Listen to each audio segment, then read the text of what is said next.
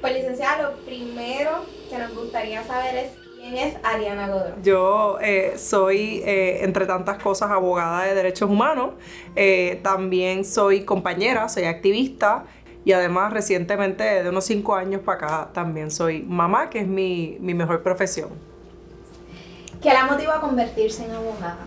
Mira, yo me convierto en abogada porque a pesar de mi nombre y mis apellidos que tienen un peso en la profesión legal, pues obviamente el trabajo del compañero y profesor Michel Godreau, la realidad es que yo soy la primera persona en hacerme abogada eh, en mi familia.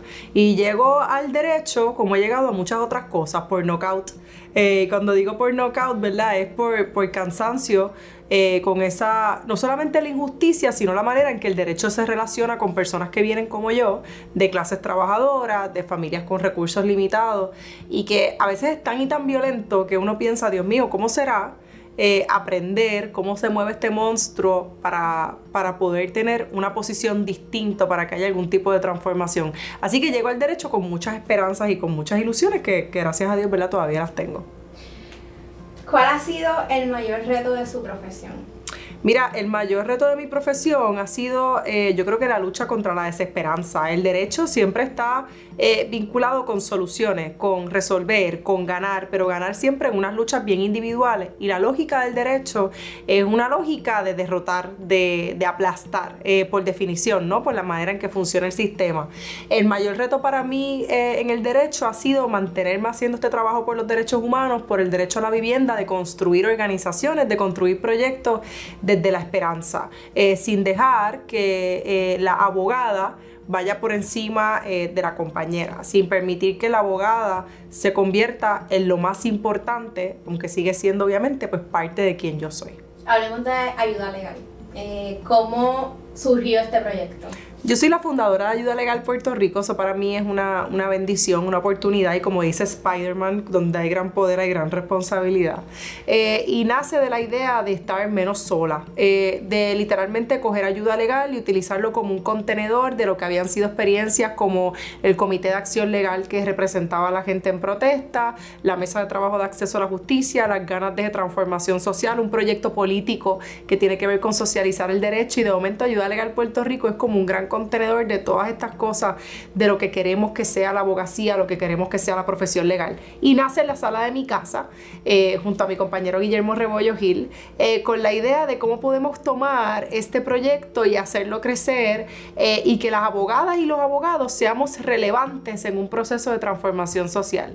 Ayuda Legal Puerto Rico porque así como llegan los camarógrafos a la mesa con su cámara y llegan los comunicadores con su capacidad de hablarle a medio, nosotras somos compañeras que llegamos al proceso de transformación social con unas herramientas particulares que se llaman derecho. Así que Ayuda Legal Puerto Rico nace eh, para acompañarnos y para acompañar a otras personas, particularmente las históricamente marginadas, las que luchan por el derecho a permanecer. ¿Cómo se ha ido transformando Ayuda Legal a través de los años?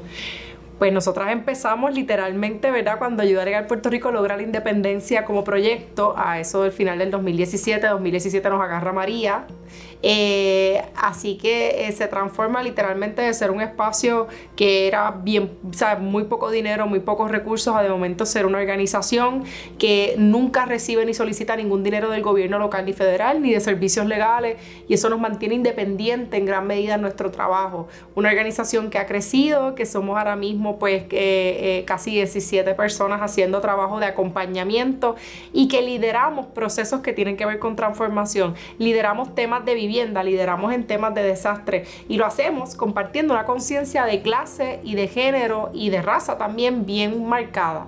Y es que somos abogadas de primera generación eh, y trabajamos con una noción bien concreta de que el derecho a veces beneficia un sector bien pudiente y bien adinerado.